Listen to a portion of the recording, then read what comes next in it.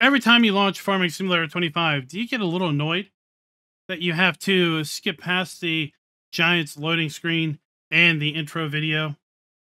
Well, this video is for you because I'm going to show you how you can quickly avoid having to skip both of those things. So this is how the game launches normally.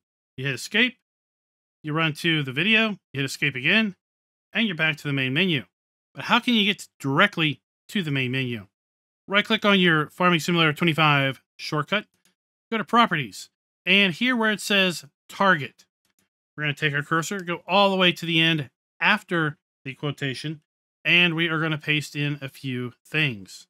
We're going to add a space, and then we're going to do dash cheats. More on that in a little bit. Then we're going to do a space, dash, lowercase skip, uppercase S for start, and uppercase V for videos. It must be in this format. And then hit OK. After doing that, we're going to launch the game. And you're going to see that it is going to go directly into the main menu. We're going to skip the Giants animation for the logo. And we're going to skip that introduction video. Now, what does the dash cheats do? I said I was going to give you a little bit more on that later.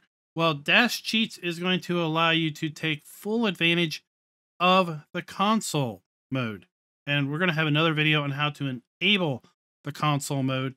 But without the dash cheats enabled with respect to the start command, then some of those console commands just aren't going to be available.